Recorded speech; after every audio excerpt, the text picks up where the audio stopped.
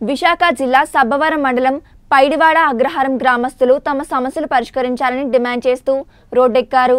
గత కొంతకాలంగా ఎన్టీపీసీ నుండి డీబీఎల్ కంపెనీ వారు వందలాది లారీలో కెమికల్కు చెందిన యాస్ను తరలిస్తున్న నేపథ్యంలో సబ్బవరం మీదుగా పైడివాడ అగ్రహారం గ్రామం గుండా వెళ్తున్న లారీల నుండి యాస్ రోడ్డుపై పడి విపరీతమైన దుమ్ము ధూళి రేగి తమ ఇల్లు పాడైపోవడం కాక గ్రామస్తులు ఎంతోమంది అనారోగ్యం పాలవుతున్నారని వాపోయారు. ఈ దుమ్ము వల్ల రోడ్డు ప్రమాదాలు కాక కంటి సమస్యలు ఊపిరితిత్తుల సమస్యలు కూడా వాటిల్లుతుందని ఈ విషయమై స్థానిక అధికారులు స్పందించి ఈ దుమ్ము ధూళి రవాణాను వెంటనే నిషేధించాలని లేదా తగిన జాగ్రత్తలు తీసుకుని రవాణా చేయాలని లేని పక్షంలో పెద్ద ఎత్తున ఆందోళన చేస్తామని గ్రామస్తులు డిమాండ్ చేశారు. పైడోడ్ అగ్రహారం మాది పైడోడ్ అగ్ర గ్రామంలోనూ ఇలాగ రోడ్డు ఎంపీటీసీ బళ్ళు అవును. వెళ్తున్నాయి పిల్లలు ఆరోగ్యం పాడైపోతున్నాయి. అవి ప్రకృతులు పెద్దోళ్ళు చిన్నవాళ్ళు అందరూ పట్టిన అవి ఒక ఆలోచనలు చాలా దెబ్బలెక్కి మంచాలు పడి ఉన్నాము.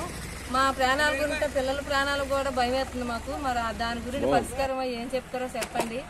ఈ టైంలో మాకు ఆ బుక్ని చూసి మా జీవితాలు ఎందుకు మా పిల్లలు ఎందుకు మాకు ఆస్తులు ఎందుకు అంతస్తులు ఎందుకు మాకు అన్ని బుక్ మీద పోతున్నాయి ఎటు పోవడానికి మాకు దారి లేదు. మా అనారోగ్యంతో పిల్లలతో తల్లితో మేము ఉన్నాము. మా దాని గురించి ఏమో మా ఊరు మా పెద్ద మనుషులు ఏం చేస్తారో మరి మా ఊరు పంచాయతీ ఇలాగా అనారోగ్యంతో ఉన్నాము. దుమ్ము దూలతో మాకు మింగి సవలాలు గెంజి తాగి ఆ తిండిలో కూడా పడిపోతుంది దాని గురించి మేము చాలా ఇబ్బందులు పడుతున్నాం. దానికి మరి ఏం పరిష్కారం చేస్తారో చెయ్యండి. మాది విశాఖపట్నం జిల్లా సబ్బోరం మండలం. మాది పైడివాడ గ్రహారం అండి. ఇక్కడ లంకిలపాలెం టు సబ్బోరం రోడ్డు మా సెంటర్లో ఉన్నాం మేము. ప్రతి దిగ్గు అంటే మన ఎన్టీపీసీలో వేస్టేజ్ అంతా ఒక కెమికల్స్. ఆ కెమికల్స్ అన్నీ బురదతో రోడ్డు అంతా జల్లేస్తున్నారు.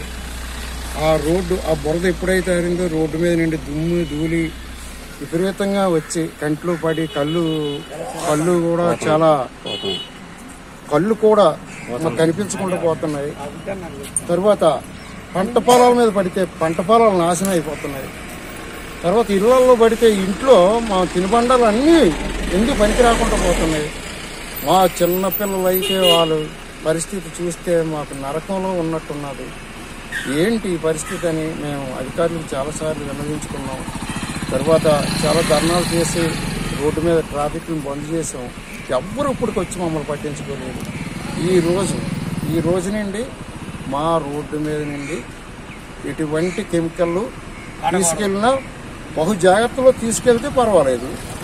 ఏమాత్రం ఒక్క వంద గ్రాములు రాలినా ఇక ఇక్కడ నుండి మా ధర్నాన్ని ఉధృతం చేస్తామండి.